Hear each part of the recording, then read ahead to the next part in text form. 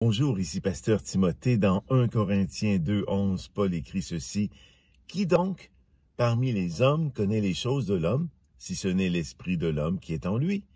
Ainsi personne ne connaît les choses de Dieu non plus, si ce n'est l'esprit de Dieu. Amen. Ce qui est en toi versus ce qui est en l'autre est plus connu par toi que par l'autre. C'est ça ton esprit à toi, à l'intérieur de toi mais les choses de Dieu nous sont connues par Dieu lui-même. C'est pourquoi tu ne peux pas te fier aux autres, mais uniquement à ce que l'Esprit va venir te révéler. Et ces révélations se trouvent majoritairement dans sa parole, la Bible. Et ça, ça n'est une aujourd'hui. Alors, fie-toi à l'Esprit de Dieu. Non même pas à toi-même, ni non plus aux autres à leur sagesse, à leur expérience.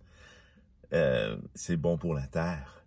Mais pour les choses de Dieu, tu veux savoir vraiment ce que Dieu pense au sujet des événements à venir, de ce qui se passe en ce moment, jette tes yeux dans sa parole. Ce sont les choses de Dieu qui révèlent son esprit. Amen. Très bientôt.